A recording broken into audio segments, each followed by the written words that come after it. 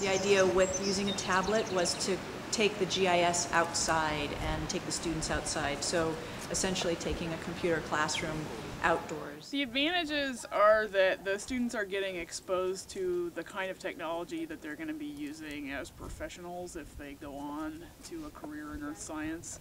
Um, they need to know how to use GIS software. They also need to know how to use tools like GPS. And so we're giving them an introduction to that with this exercise. What we're going to be doing today in class is we're going to be looking at how the Casperkill's meander migration pattern has changed over time.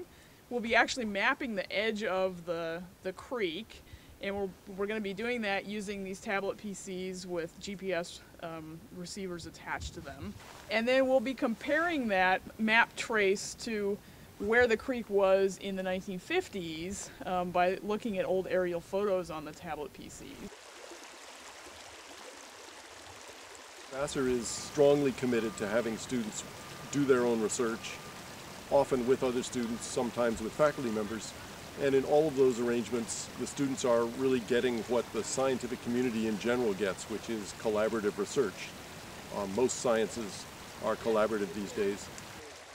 I'm an environmental studies major, so I enjoy being outside whenever I can, and tablet PCs let you have the power and processing ability so I can run ArcGIS when I'm out in the field. So I can be out in the field and have the capabilities of a computer lab. Another great thing about using a tablet, it, not just for research but for the students, is that when they're out in the field, they're observing things and um, seeing a stand of trees or seeing that there's a creek here.